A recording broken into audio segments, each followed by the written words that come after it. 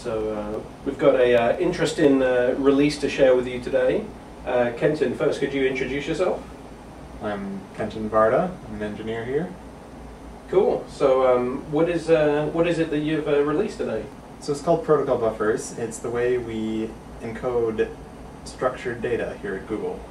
It's, um, basic idea is you write a proto file which um, contains definitions of um, structured data and then run it through the protocol compiler which uh, generates classes in C++ or Java or Python which represent those structures that you've defined. And uh, each of these classes has accessors for all the fields you've defined and then has methods for parsing and serializing the data in a compact and uh, very fast format. It's the format we use for pretty much all our data interchange here at Google. Interesting. So uh, when a lot of people think of structured data, they think of you know XML and things like that. Mm-hmm. So uh, why are we not using XML? How do we get to, to use this structure? Well, XML is nice, but um, with the you know the sheer quantity of data that we use here, um, it it just wouldn't work. You know, it takes a while to decode and to encode, and it's kind of large. We need something extremely efficient. The other problem is that XML, um, depending on what kind of data you're representing, uh, it can be kind of cumbersome to use. Like if you're trying to represent something like HTML, which is you know text with markup, then XML is great. But if you're trying to just represent you know data structures that have some set of fields, each you know having a simple type, then XML it, it's kind of uh, cumbersome because you have to you know navigate this DOM tree and like get element with name whatever and then get the inner text of that and then parse that as a number or whatever you want to do. Right. So this is all like typed information. Yes, uh, protocol buffers are strongly typed. Um, Interesting. So uh, the other comparison that people make is uh, sounds a little bit kind of IDL-ish and Corba and things like that that come out. Is it is it similar to that in some ways? Um, so you know, all these systems have uh, different strengths and weaknesses. Um, protocol buffers. Protocol buffers is just a way to encode data. It's not an RPC system, though you could use it for RPC, and we do use it for RPC.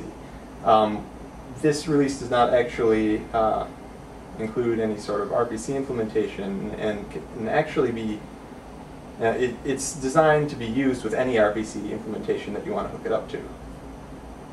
Uh, do you know historically how we came to, to end up with protocol buffers?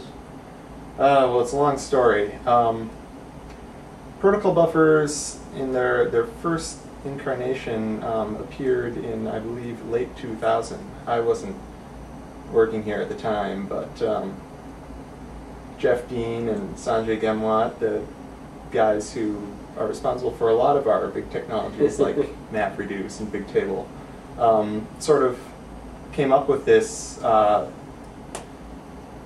at first, yeah, I, I don't completely know the history because I wasn't there, but I guess at first it was just, you know, you could define these protofiles and it would just produce a set of constants, you know, numeric constants that you could use to um, write, you know, manually write parsers and encoders for various formats. And then um, over time, um, it evolved to the point where the protocol compiler automatically generates you know, everything for you. Okay, cool. And so you as the kind of end user developer just have this Java class that you get back that you can manipulate, you say just saying get to get various data back and set to put data into the system Yeah. and low level it's doing stuff with binary files or whatever. Yeah, it's really simple. You just you know create your message class and uh, and call set whatever um, accessors to set each field, and then serialize the string or serialize to a uh, output stream or whatever. Okay. So why do you think, uh, you know, now this is open source and people can start playing with this, uh, what kind of use cases do you see where people would want to use this versus, you know, some of the other solutions that are out there? Where's this like really fit in well? Basically, if you need a um, fast, compact format that's easy to find and extensible, meaning you can add fields, remove fields, and uh, still be able to interact with older programs that are using the old version of the format, then uh, protocol buffers are a good solution. Uh, as I said before, they're not great for um, representing like structured text because they're not a text format and you can't just insert structure into text. Um, they're also probably not great if you, you know, if your first priority is human readability, because obviously this is a binary format. Although there is a text format that's useful for debugging and such, it's primarily a binary format. Okay. You mentioned uh, manipulating the data. So is there versioning built into this schema, or how does that work? Uh, yes. Um, it's you don't just like declare a version. Um, if you add new fields to your structures uh, and then encode a message using those new fields, old programs that don't know about them will just ignore them. Okay. If you remove a field, um, you know, old programs will just assume it has its default value. So- Okay, cool. Okay, so that that's actually really useful. Like having to not having to mess around with schemas and working through all of those kind of systems if it's like built into the protocol itself. Uh, that seems pretty useful. Cool.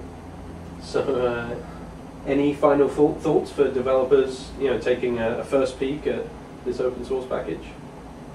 Yeah, well, just um, take a look at the, the docs, download the code, it's all freely available, and um, let us know what you think at our uh, discussion group. Great. Well, uh, thanks so much for making this happen. I know a bunch of people that have maybe like left Google that wish they had protocol buffers. So it's uh, it's cool to like see it out in the wild now. So I really appreciate it.